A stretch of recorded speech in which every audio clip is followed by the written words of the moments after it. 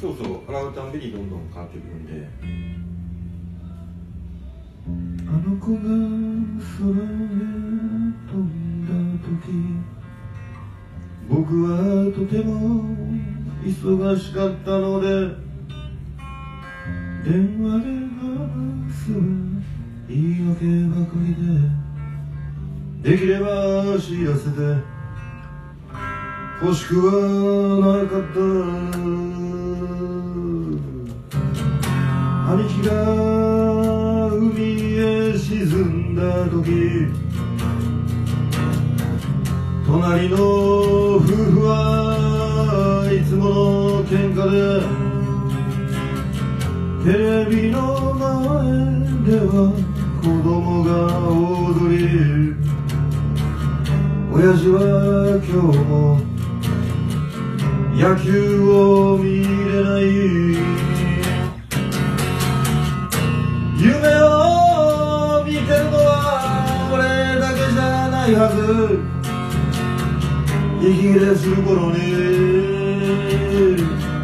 知らせてきて夢を壊すわ。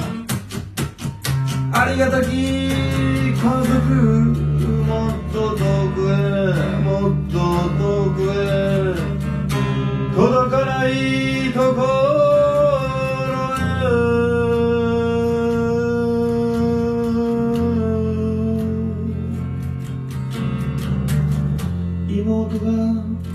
夜を好きになった時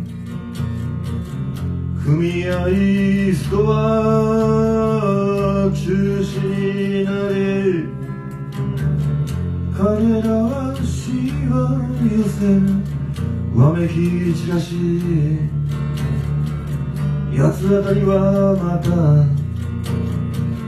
ものに受けておいらが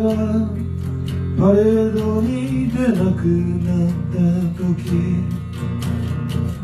彼らは白い目をむき出して当たり外れはもう慣れっこさ遅かれ早かれ長いは無用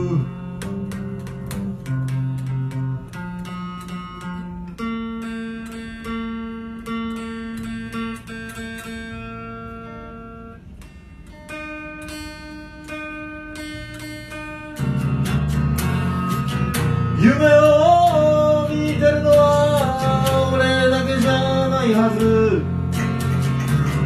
息切する頃に知らせてきて夢を壊すわ。ありがたき家族もっと遠くへもっと遠くへ。